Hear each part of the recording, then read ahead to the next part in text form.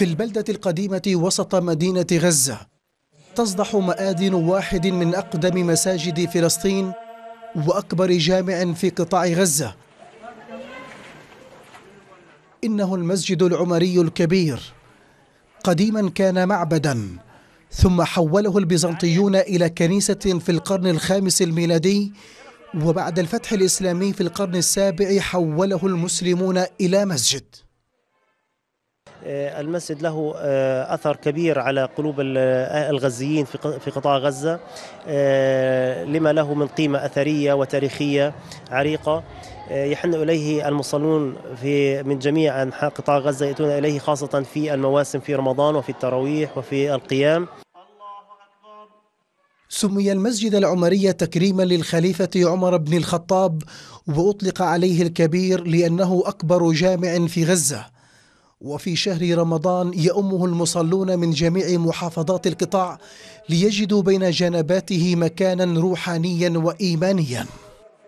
طبعا إحنا الحمد لله عندنا برنامج حافل في شهر رمضان بنجيب يعني قراء أصحاب أصوات نديه بنجيب بنعمل مسابقات تأتي معظم أو يعني بحب أكثر ناس أو أكثر عدد من الناس الموجودين في قطاع غزة بيحبوا يجوا على المسجد العمري تيمنا بالمسجد الأقصى المبارك.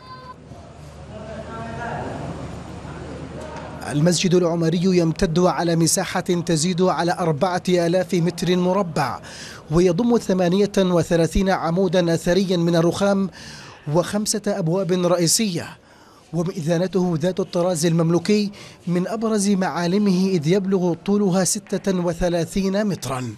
آتي في التاسعة صباحا كل جمعة هنا لأستنشق هواء المسجد العمري أتأمل جدرانه أبنيته الأقبية لأنه بشكل إلي حالة إيمانية غير متوفرة بأي مسجد آخر.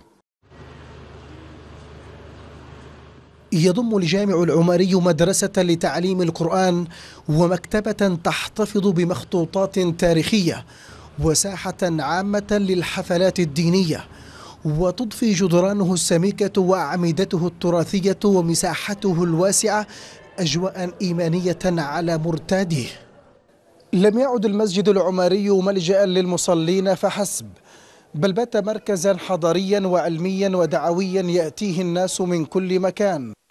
فمعالمه تذكر رواده بالمسجد الأقصى الذي يحرم الاحتلال غالبية سكان غزة من زيارته في مدينة القدس. سامي برهم ترتي عربي قطاع غزة.